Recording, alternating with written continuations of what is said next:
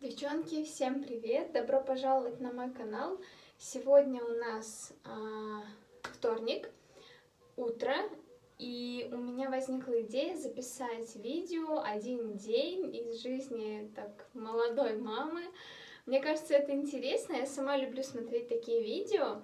Плюс ко всему, у нас сегодня такой очень э, активный день, у нас будет и уборка, и с Катюшей мы идем на развивашки, и идем в поликлинику делать прививку Кате. В общем, а, много куда нам нужно с Катюшей сходить, поэтому хотим взять вас с собой. Сейчас я а, должна почистить зубы. А, я помыла голову быстренько с утра. У нас должны сегодня отключить горячую воду, и поэтому нужно было все очень оперативно делать. Я подмыла, умыла Катю, искупалась сама. Сейчас я почищу зубы и пойдем готовить завтрак.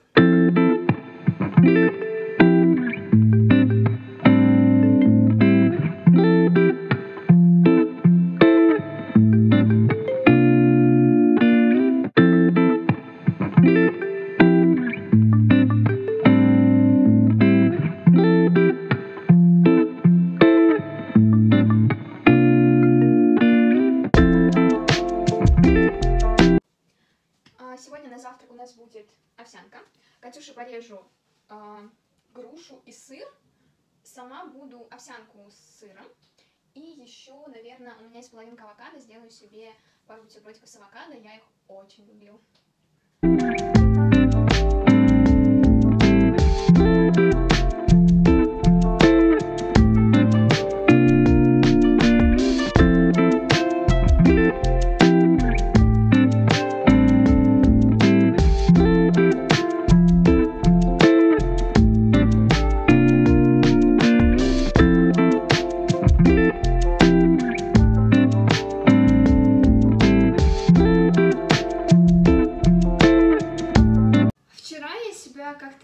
Чувствовала, и весь день лежала просто, спала с Катюшей.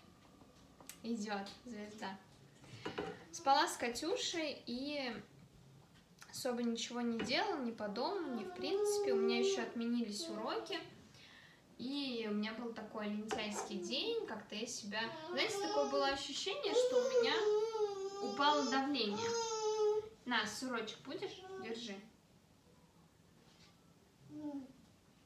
Было такое чувство, что у меня упало давление, и э, вообще, честно, было ни до чего. Вот, э, но потом как-то я так вот прям раскачалась к вечеру, когда пришел муж, когда мы с Катей погуляли, то есть когда я стала что-то делать по дому, там. Могу абсолютно точно сказать, что энергия появляется только тогда, когда ты что-то делаешь, во время процесса. Это как аппетит приходит во время еды тебе лень что-то делать, лень убираться, лень, там, я не знаю, готовить, лень работать. Но когда ты начинаешь это делать, у тебя действительно откуда-то берутся силы. И эта мысль, она все время а, как-то меня так подталкивает, подстегивает что-то делать. Сейчас, дочь, я почищу грушу и пойдем мы будем завтракать не в ее стульчике, а за ее столиком. Она будет сидеть на своем стульчике, за столиком, а, кушать. Вчера, в общем-то, она неплохо с этим справилась. Обеды, а, так как они более сухие, у нее получается есть лучше, то есть она меньше роняет, меньше пачкает и пачкается. Но в целом мне не сложно убрать, пока она учится, э, это нормально. Сейчас мы ей порежем грушу. Будешь грушу, Кать? Держи.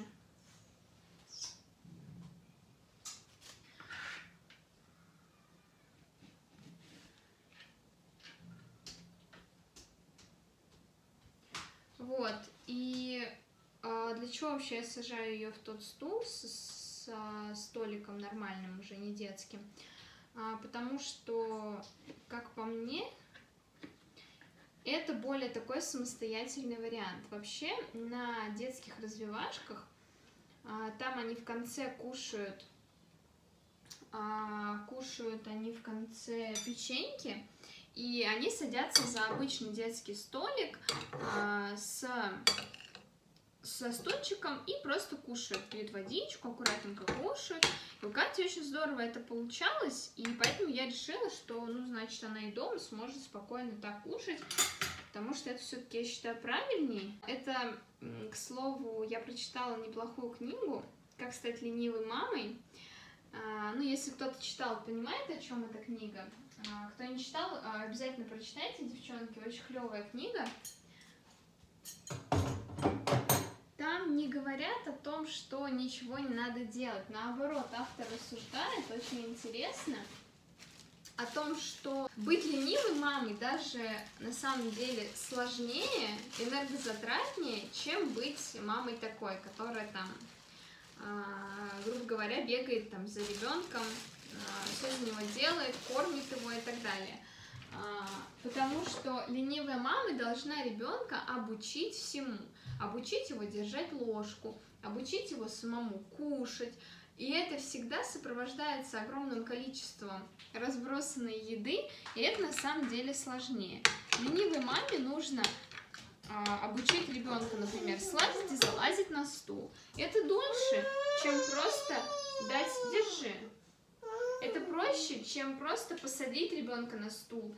Ребенка проще поднять на горку, чем учить его залазить по ступенькам. И так во всем. Обучить чему-то, какому-то действию, всегда сложнее, чем просто сделать его за ребенка. Но э, я все же выбрала такой путь, причем я выбрала его до прочтения книги. Как-то, знаете, э, неосознанно так поняла, что для меня этот путь, он ближе, и я хочу, чтобы не, не чтобы Катя делала все как бы сама, потому что мне лень, а именно чтобы она действительно сама научилась что-то делать. И это, я считаю, для развития очень полезно, когда ребенок может сам себя в какой-то степени обслужить, э, то он становится более самостоятельным, а значит, он может самостоятельно какие-то навыки развить, потому что ведь чаще всего мамы, они что делают? Они сажают ребенка перед собой и начинают, смотри, это пирамидка, это там рыбы и так далее. Я сама так делаю и часто замечаю, пытаюсь сделать так, чтобы э, у меня было обучение Катюши более таким естественным э, и в форме жизни, в форме игры. Поэтому я я вот к таким вот методам прибегаю. Они мне очень близки и очень они мне нравятся. Ой, много бутеров делаю, черт. С авокадо же хотела. Заболталась, мать. Самое главное для меня вот в воспитании, в обучении Катюши, знаете, не испортить все. А, мы как вот ходим на развивающие вот эти занятия, и воспитатель там все время говорит, какой у Кати такой э, характер, как бы, скажем так, он есть у нее. И она мне все время говорит, как это так, вот в год вот такой уже так характер, она уже точно знает, чего хочет, и если она не хочет чего-то, она в жизни это сделать не даст. И в конце, когда она мне это сказала, я такая, ну да, вот она у нас такая вот как бы прямо там тыры-пыры.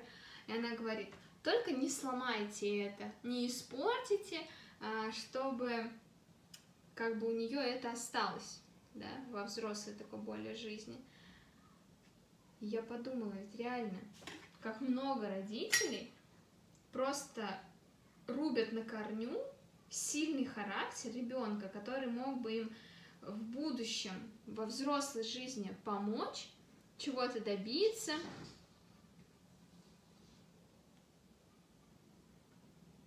что у меня там Катя с котом беда. Пойду посмотрю. Все в порядке.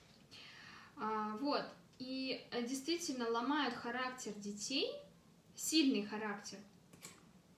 И ребята становятся неуверенными в себе, а, и потом у них возникают трудности с личной жизнью, с карьерой, с учебой. Просто потому, что они не верят в себя, и им кажется, что да, вот так вот они все делают неправильно, а это просто родитель ломал их характер, такой какой-то сильный, может быть, своенравный. Да даже, знаете, не всегда дети ведут себя как-то своенравно, зачастую дети ведут себя абсолютно нормально, а, ну, э, немного шумно, чем хотелось бы родителю, но на то они и дети. Но родители а, почему-то стараются все время, не знаю, как-то взять все, знаете, под свой контроль. Возможно, для кого-то такая модель правильная, и кто-то считает, что да, ребенок он сам еще ничего не знает, ничего не умеет, поэтому ему нужно как-то подсказать, помочь. Но э, это такой не мой путь, так скажем.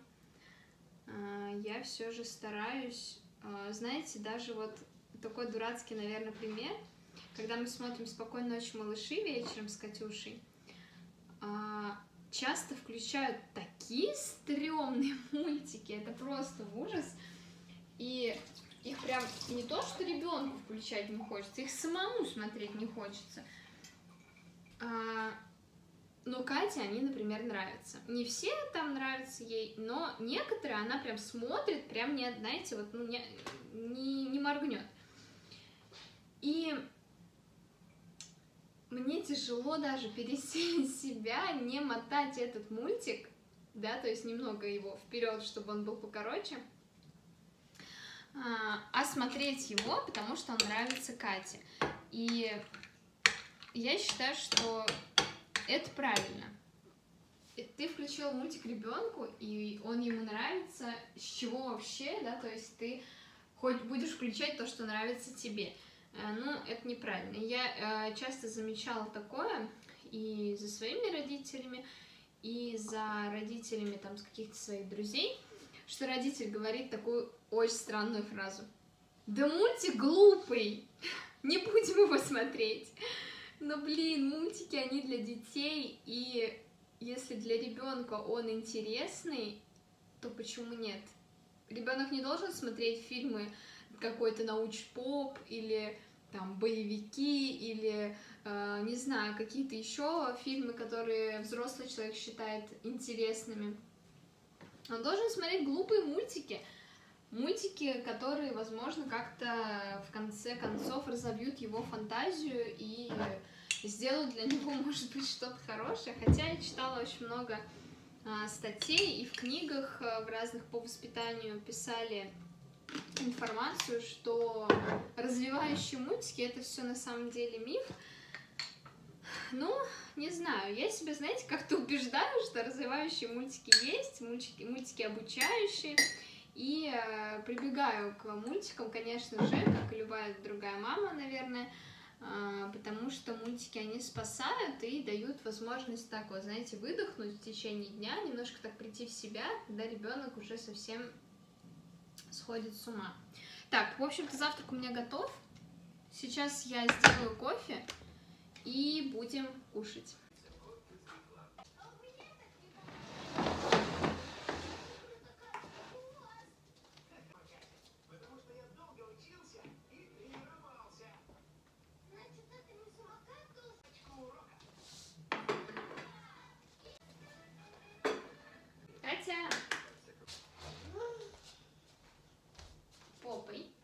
Поворачивайся попой задом. Вот так. Оп.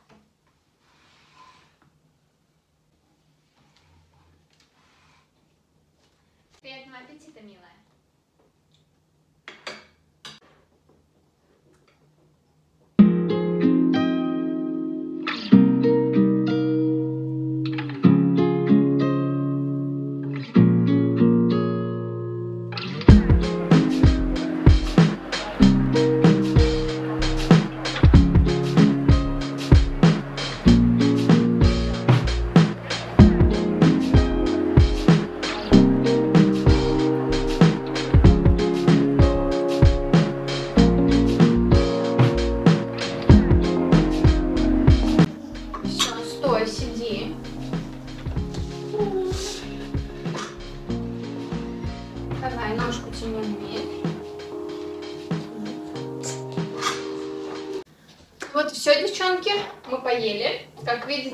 Общем и целом чисто. Я немного позже покажу, как Катя ела раньше и вообще, как мы учились с Катюшей есть самостоятельно. А сейчас мы будем мыть посуду и приводить маму в порядок. Thank you.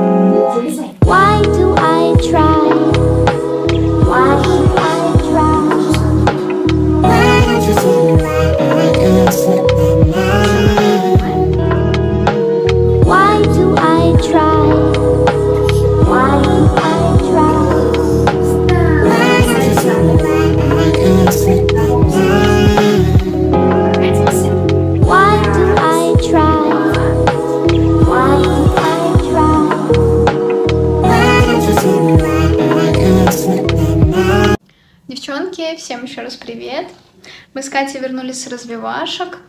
Сегодня очень круто занималась она, вообще прям супер здорово выполняла все задания. А, сейчас она уже спит. А, я записала одно очень такое откровенное видео о своем опыте, о своей первой беременности, а, о ее подготовке к ней и о ее таком завершении. Это видео я выложу на днях, Вообще, на самом деле, это очень сложная тема для меня, а, но я думаю, что такая, такое видео, оно кому-то поможет. В общем, на днях я его выложу обязательно. Сейчас, пока Катя спит, я полежу, почитаю. А, и Катюша проснется, мы с ней будем обедать, и потом у меня будет урок. А после урока мы идем в поликлинику делать прививку, Короче, денек сегодня такой очень эмоциональный.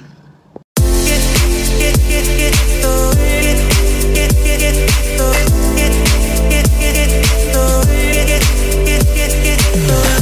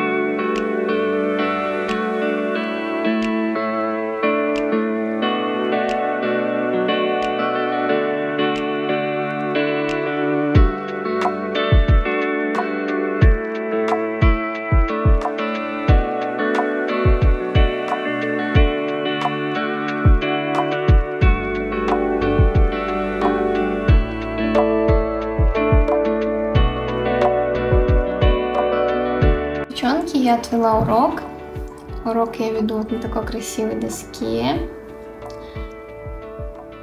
Сейчас я покажу. Эту доску недавно начали с ученицей. Мы прошлую заполнили полностью. У нас тут всякие красивые решения. Всякие красивые тут рисуночки, интерактивчики. Вот наш сегодняшний урок. А, мы разбираем с ученицей домашние задания, а, текстовые задачки решаем вместе, а примеры, там какие-то простые задания она делает сама. И когда остается время, мы с ней решаем олимпиадные задачки. В общем-то, ей очень нравится. Девчонки, ну вот и все. Буду заканчивать. А, у нас сейчас уже половина седьмого вечера. Я провела урок. А, муж у меня сидит с Катюшей. А, сейчас я приду к ним, мы немного поужинаем, покормим Катю, помоем ее, и около восьми она пойдет спать. Завтра я постараюсь тоже снять целый наш день, может быть, какие-то интересные моментики. В общем, еще раз спасибо, что смотрели нас. И всем пока-пока.